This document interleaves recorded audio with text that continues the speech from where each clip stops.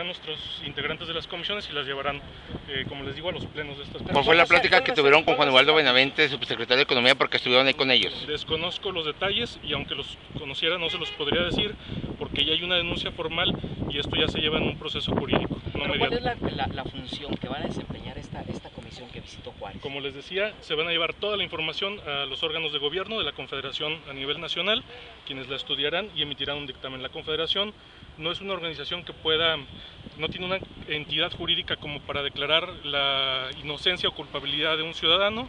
Al contrario, en la Confederación siempre hemos eh, pues hecho énfasis en la transparencia y la rendición de cuentas y lo seguiremos haciendo y por supuesto que Carlos Chavira y el Centro Empresarial contarán con todo el respaldo eh, en el que este proceso se lleve a cabo eh, conforme a derecho. O sea, ellos vienen en defensa de Carlos Chavira. Ellos vienen, como les decía, a recabar la información para llevarla a los órganos de gobierno de la Confederación. ¿Pero llevan suficiente información?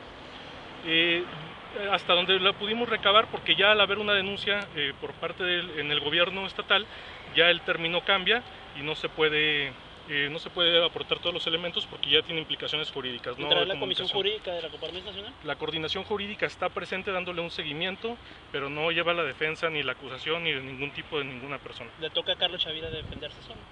Eh, pues desconozco cómo se defenderá Carlos Chavira o si la Confederación asumirá la defensa, ni mucho menos. Como les decía, apenas se acaba de conocer esta denuncia y ahora tendré que conocerse en sus detalles. ¿no? ¿Ya hay una presidenta electa cuando asume? Desconozco ese